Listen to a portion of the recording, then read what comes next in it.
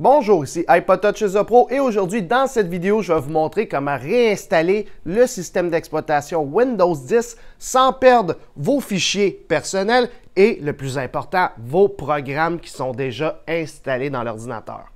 Alors là, pour pouvoir réinstaller son ordinateur sans perdre ses programmes, eh bien, c'est important que premièrement, votre ordinateur doit déjà fonctionner sur Windows 10. Ben, fonctionner. Euh, il faut que vous soyez en mesure de pouvoir rentrer dans votre session.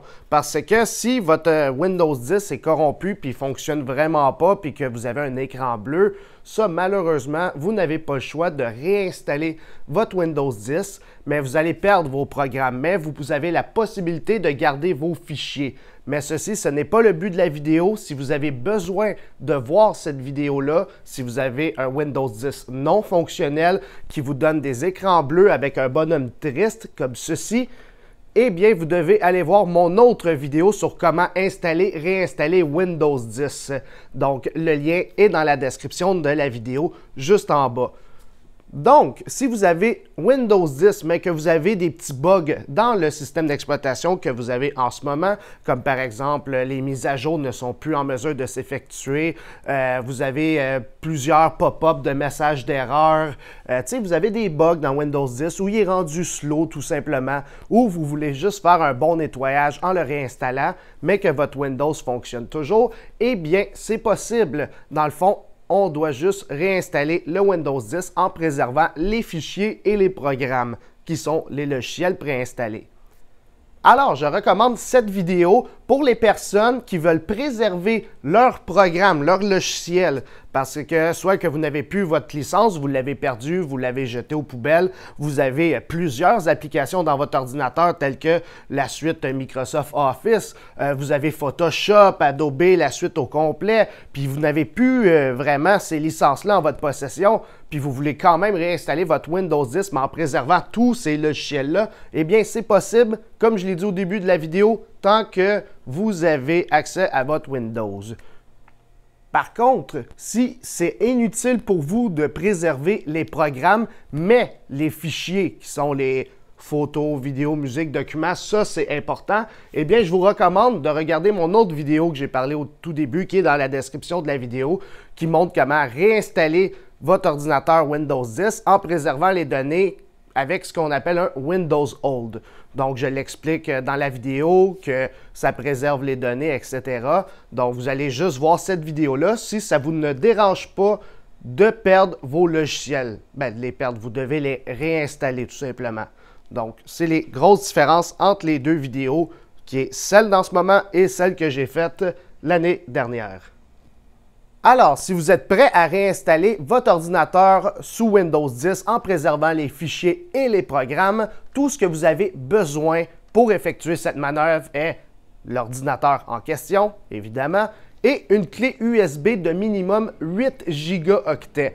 Donc, euh, les 8, les 16 sur Amazon sont plus chers que les 32, donc achetez une 32. Si vous avez une clé USB à la maison, il faut qu'elle soit minimum 8 gigs. Puis aussi, il faut qu'il n'y ait aucune donnée importante dedans parce qu'on va tout effacer ce qui est dans la clé USB pour y mettre le logiciel Windows 10 pour pouvoir effectuer la réinstallation en préservant les données et les programmes. Alors, perdons pas de temps et allons voir tout de suite comment on effectue la réinstallation. Une fois sur votre ordinateur Windows 10, eh bien, vous pouvez voir que j'ai beaucoup de programmes dans mon ordinateur qui sont installés déjà. Euh, puis quand je veux réinstaller mon Windows 10, eh bien, je veux que tous mes programmes qui sont là restent. Je ne veux pas les perdre parce que je n'ai plus ma licence de Office euh, qui est installée dans l'ordinateur. Puis mes programmes sont configurés d'une manière à ce que je ne veux pas recommencer la reconfiguration de tous ces programmes-là et je veux préserver mes données qui sont dans mes documents, par exemple ici. Je veux préserver mes images. Alors ça, c'est toute la première étape pour pouvoir faire la réinstallation en préservant ces fichiers et ces programmes. C'est qu'on peut voir que mes programmes sont installés et ils fonctionnent. Mettons, mon Excel, il fonctionne bien. Mon Word, il fonctionne super bien aussi. Donc, je veux vraiment pas avoir à réinstaller les programmes. Mais par contre, mon Windows 10 a quelques problèmes, comme je ne peux plus faire les mises à jour, euh, j'ai des problèmes, j'ai souvent des pop-up d'erreurs. Eh bien, c'est cette vidéo-là qui est faite pour vous. C'est de réinstaller le Windows 10 tout en préservant vos données et les programmes. Donc, si vous allez dans ce PC ici, on peut voir que mon disque dur, euh, il reste de la place. Il faut qu'il vous reste au moins 15 euh, GB de libre sur votre lecteur C pour pouvoir effectuer la manœuvre. Sinon, vous devez faire de la place manuellement. Ce que je recommande fortement avant d'effectuer la réinstallation, c'est de quand même faire un backup de vos fichiers importants sur un disque dur externe ou une clé USB. Si on va dans le C, utilisateur, votre session, eh bien, je vous conseille de tout copier ça dans une clé USB qui va euh, avoir tous vos, euh, dans le documents, images, photos, tous vos fichiers personnels généralement se retrouvent là-dedans. Puis vous aurez au moins un backup s'il arrive un petit pépin. Parce qu'il se peut que vous tombez sur un disque dur qui est défectueux, puis c'est peut-être pour ça que vous avez des problèmes sur votre ordinateur. Votre, disque dur est défectueux, donc il se peut que ça l'endommage un petit peu plus. Donc assurez-vous d'avoir au moins vos fichiers personnels sur un disque dur externe avant d'effectuer la manœuvre. Donc, on y va. La première étape est de brancher la clé USB que je vous ai parlé tout à l'heure. Une fois votre clé USB branchée, elle va apparaître ici. Si on s'en va dans ce PC, on peut voir que mon USB est ici. Assurez-vous que qu'est-ce que vous avez dans votre clé USB, il n'y a rien d'important parce que la clé USB va être formatée, comme je l'ai dit au début de la vidéo, pour mettre le nouveau programme Windows 10 à l'intérieur. Puis rappelez-vous aussi que c'est le disque E. Assurez-vous que si vous avez d'autres périphériques, de les débrancher, des disques durs externes, d'autres clés USB. On veut juste avoir une clé USB de brancher sur votre ordinateur. Donc, une fois qu'elle est branchée, tout est beau, c'est le disque E, dans mon cas. Par la suite, il faut aller sur Internet, télécharger ce qu'on appelle le Media Creation Tool. Donc, sur Google, vous tapez tout simplement Media Creation Tool, comme ceci. Et par la suite, sur le site de Microsoft.com, assurez-vous que c'est bien le site de Microsoft, on clique sur Télécharger une image disque de Windows 10, on descend, puis on veut télécharger l'outil maintenant. Donc, une fois qu'on a cliqué dessus, le Media Creation Tool va débuter ici et c'est maintenant qu'on peut l'exécuter. On l'exécute, on fait oui et par la suite, on peut fermer notre navigateur Internet. Puis là, c'est là qu'on va créer le support Windows 10 sur notre clé USB. Donc, on attend qu'il fait la préparation de certains éléments. Par la suite, on ne veut pas mettre ce PC à niveau. On veut créer un support d'installation sur clé USB, DVD ou fichier ISO. Donc, on fait suivant. Par la suite, vous pouvez laisser cette option cochée. Il va réinstaller exactement ce que vous avez sur votre ordinateur. Effectivement, j'ai un Windows 10 sous Français Canada, sous Windows 10 en 64 bits. Donc, on le laisse cocher et on fait suivant. Par la suite, on veut un lecteur flash USB. Donc, euh, il faut au moins 8 Go comme je l'ai expliqué au début. On fait suivant. Et là, c'est là qu'il va dire, bon, ben sur quel euh, disque vous voulez installer le support de Windows 10. Nous, on avait vu que c'était le E tout à l'heure. Donc, si on s'en va dans nos dossiers ici, puis dans ce PC, on peut voir que c'est le E. Donc, assurez-vous qu'il n'y a rien d'important dedans parce que lorsqu'on a sélectionné le E ici, puis on a fait suivant, tout ce qui va être sur la clé USB va être perdu. Et c'est là qui débute le téléchargement de Windows 10 et qui va l'installer sur la clé USB. Donc, euh, cette manipulation peut prendre euh, plusieurs minutes parce qu'il doit télécharger quand même un bon 4 euh, Go de l'Internet, puis le mettre dans votre clé USB, puis de faire l'installation proprement. Donc, je vais faire pause à la vidéo. Lorsque la progression va être à 100%, je vais vous montrer la suite des choses. Alors, une fois que votre clé USB est prête, le disque E, on peut faire terminer. Alors là, il va finir euh, le nettoyage et voilà. Donc, si on retourne dans ce PC, on a maintenant la clé USB E qui est rendue une ESD trait d'union USB. Puis on peut voir que mes documents qui étaient à l'intérieur sont complètement effacés. Donc, ça, ça efface vraiment tout ce que vous avez sur votre clé USB. Donc, une fois que c'est fait, la clé USB est prête et vous avez votre ordinateur sous Windows 10 que vous voulez réinstaller en préservant vos données et les programmes. Donc, quand on va dans ce PC, contrairement à mon autre vidéo, il faut exécuter le EXE à partir d'ici. Donc, on va dans la clé USB qu'on vient de créer et on exécute le setup.exe qui est à l'intérieur de cette clé USB. On clique sur Oui. Par la suite, on peut fermer ça. Et là, le programme d'installation de Windows se lance. Donc, il faut attendre euh, la préparation. Il va faire quelques petites mises à jour. Installer Windows 10. Donc, euh, on peut faire suivant.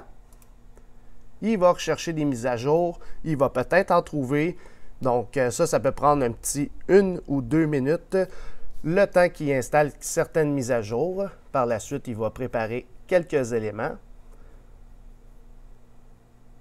Et là, on est rendu à accepter les termes et les conditions. Et là, c'est là qu'il est en train de faire la vérification des mises à jour. Et voilà, maintenant Windows 10 est prêt pour l'installation. Donc, c'est sûr qu'il dit que vous ne pouvez pas utiliser votre ordi pendant l'installation, sauvegarder et fermer vos fichiers avant de commencer. Ça, c'est vrai. Tout ce que vous avez d'ouvert, vous devez le fermer, sauf le programme d'installation Windows 10. Donc, en résumé, ce qu'il va faire, c'est installer Windows 10 Famille et conserver les fichiers personnels et applications. Donc, les applications vont être gardées. Euh, si vous voulez modifier les éléments à conserver, ben, vous pouvez décider de seulement conserver les fichiers. Donc, il va supprimer toutes les applications ou vous voulez rien, tout sera supprimé, incluant les fichiers, les applications et les paramètres. Mais nous, on veut conserver les fichiers personnels et applications. Donc, euh, c'est ça, là, ça va tout garder vos applications, vos jeux, etc. Donc, on fait suivant. Alors là, il me repose la même question parce que tout à l'heure, j'avais cliqué sur modifier les éléments à conserver. Donc, il faut rester sur cette fenêtre-là, s'assurer que c'est écrit conserver les fichiers personnels et applications et on clique sur installer en bas à droite. Et c'est là que l'installation de Windows 10 débute. Donc, il va réinstaller votre ordinateur, il va préserver les fichiers et les applications. Donc, euh, ça, ça peut prendre vraiment un certain temps. Ça peut prendre 30 minutes environ à une heure, dépendamment de la vitesse de votre disque dur.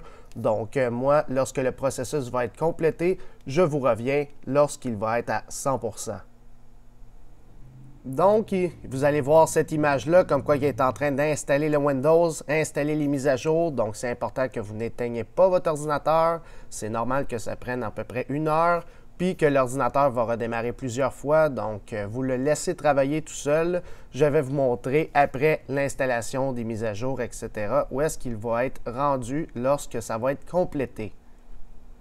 Donc là, il est en train d'effectuer des opérations, qui est en train de garder vos programmes, vos fichiers. Il est en train de tout remettre euh, au bon endroit. Donc, euh, il faut le laisser travailler. En tout moment, vous ne devez jamais débrancher la clé USB, sauf quand je vais vous le dire, qui va être plus tard dans la vidéo. Donc, on n'éteint jamais le PC et on le laisse travailler. Une fois que ça va être complété, on peut voir que ça l'ouvre par défaut Microsoft Edge comme tout une nouvelle installation. Donc, euh, à chaque fois qu'on installe Windows 10, ça ouvre par défaut Microsoft Edge, que ça dit bonjour, bienvenue, etc. Donc, on peut fermer Microsoft Edge et l'ordinateur est maintenant réinstallé et il a préservé tous mes programmes. Donc, euh, ça a fonctionné. Je vais essayer d'ouvrir Excel pour voir. Et oui, mon Excel fonctionne toujours aussi bien. Donc, euh, il a préservé mes programmes, toutes mes applications sont là, mon WinRAR est toujours là. Euh, toutes mes applications sont restées, mes configurations en bas sont restées, comme par exemple euh, recherche, la zone de recherche qu'il y avait, eh bien moi je l'avais enlevé avant en faisant ceci, masqué. Donc, il a préservé mes configurations et mes applications, tous mes navigateurs Internet, tout mon bureau, comment il était placé. Maintenant, je vais aller voir dans ma session ICIAP si mes documents sont restés. Et oui, mes documents sont restés. Si je reviens, je m'en vais voir mes images. Mes images sont restées. Tout est bel et bien resté. Et c'est à ce moment-là que vous pouvez éjecter la clé USB de Windows 10. On n'en a plus besoin. On peut maintenant la déconnecter de notre ordinateur. Donc, euh, le processus s'est bien déroulé. Puis si on s'en va dans le disque C, on peut voir qu'il est, plus il est, beaucoup plus rempli qu'avant. C'est parce qu'il y a fait un Windows Old. Dans le Windows Old, ceci, c'est tout votre ancien système d'exploitation lorsqu'il y avait des problèmes. Votre ancien euh, Windows Système 32, c'est tout dans Windows Old ici. Votre utilisateur qui avait ici App avant, eh bien, il n'y a plus rien dedans puisqu'il a pris tout vos documents, vos photos, vos images, vos musiques, puis qui les a remis dans la session actuelle. Puis ici, si on revient, les fichiers de programme aussi, il a pris le nécessaire, il a juste réinstallé tout ce qui était de Microsoft Windows 10. Donc, euh, le Windows Old, si vous voulez l'enlever, parce qu'il prend quand même beaucoup de place dans l'ordinateur, ça va prendre euh, comme sûrement genre en haut de 8 Go, une dizaine de gigs. Donc, pour l'enlever, c'est pas en le supprimant qu'on effectue ceci. On s'en va dans ce PC, on fait un clic droit, on fait propriété, on fait nettoyage de disque. Puis là, on attend qu'il est en train de tout checker votre disque. Par la suite, on s'en va dans nettoyer les fichiers système. On clique dessus. Et c'est là que ça va prendre un petit peu de temps, le temps qui analyse tous les fichiers système. Puis il y aura une option qu'il faudra cocher qui est euh, de vouloir supprimer les anciennes, les précédentes installations de Windows. Donc en cochant ceci, ça va enlever le Windows Old qui est à la racine de votre disque C et ça va libérer beaucoup plus d'espace sur votre disque C. Donc euh, vous avez maintenant un ordinateur tout réinstallé sous Windows 10. Donc, je vais vous montrer c'est où cette option-là lorsqu'il va euh, avoir fini de faire le nettoyage du disque. Mais il ne fait pas le nettoyage, il analyse, il calcule l'espace. Donc, on attend juste un petit peu. Et si on descend ici, on peut voir qu'il y a une section à précédente installation de Windows qui pèse 22 GB. Celle-ci, on la coche, puis on peut faire OK. Assurez-vous que il a bien tout transféré. Allez voir manuellement dans le C Windows Old utilisateur s'il reste rien d'important là-dedans. Euh, si vous aviez d'autres choses ici, faites juste regarder. Mais généralement, avec cette méthode, il a tout transféré. allez juste voir dans votre session si toutes vos bébelles sont là. Puis si tout est là, on peut faire supprimer les fichiers. Et là, ça, ça peut prendre un bon 5 euh, à 10 minutes. Il va avoir supprimé le Windows Old ici. Je vous reviens dès qu'il va avoir terminé. Bien sûr, il va vous demander si vous supprimez les installations précédentes de Windows ou fichiers temporaires, on ne pourra plus restaurer la version précédente de Windows sur l'ordinateur. Voulez-vous vouloir le faire? On fait oui. Et c'est là qu'il commence le nettoyage. Et voilà, il vient de le terminer. On peut voir qu'il vient de libérer beaucoup plus de place. Donc, si on fait OK et qu'on retourne dans ce PC, eh bien, on voit qu'on a libéré beaucoup plus euh, de place et que le Windows Old est maintenant disparu. Donc, la réinstallation a fonctionné. Donc, euh, maintenant, si vous aviez des problèmes dans vos mises à jour Windows ou peu importe dans votre ordinateur, ça devrait être tout réglé. Donc, euh, et voilà, moi, je peux faire vérification des mises à jour et maintenant, ça va fonctionner, contrairement à avant que j'avais des problèmes. Et voilà, ça commence l'installation et le téléchargement. Donc, ça a comme avantage aussi cette méthode d'installer la dernière version de Windows 10 à ce jour, puisqu'on l'a téléchargé depuis le Media Creation Tool. Et ça l'a préservé nos fichiers, nos données et nos applications, nos jeux, etc. Et nos paramétrages aussi. Parce que si vous aviez, admettons, euh, paramétré euh, dans votre Outlook plusieurs courriels, eh bien, vous allez garder tous ces courriels-là. Tous vos paramètres vont rester, puis même les licences sur les logiciels vont rester. Donc, euh, ça fonctionne. Quand vous êtes à jour ici, vous pouvez faire les mises à jour facultatives disponibles en cliquant sur Télécharger et Installer maintenant. Et ça va installer les grosses patchs de mise à jour qui sont sortis récemment. Donc, c'était pas mal ça. Donc, euh, ça fonctionnait. Euh, faites-moi en part dans les commentaires ci-dessous. Si vous avez quelques complications, faites-moi en part aussi dans les commentaires ci-dessous sur YouTube. Sinon, ben, c'est pas mal complété. Alors, j'espère que vous avez aimé cette vidéo sur comment réinstaller un ordinateur fonctionnel sous Windows 10 pour préserver les fichiers et les programmes. Donc, si vous avez aimé la vidéo, mettez un pouce bleu. Abonnez-vous à la chaîne avec la petite cloche pour recevoir toutes mes belles petites notifications sur mes nouvelles vidéos. Puis sinon, si vous avez d'autres idées de vidéos que je pourrais faire sous Windows 10, sur euh, comment installer, euh, je sais pas moi, Windows 10 sur des Mac, Linux, peu importe, mettez ça en commentaire ci-dessous sur YouTube, puis il va me faire un plaisir de regarder ça, puis d'en faire des vidéos. Sur ce, je vous souhaite une excellente fin de journée et à la prochaine!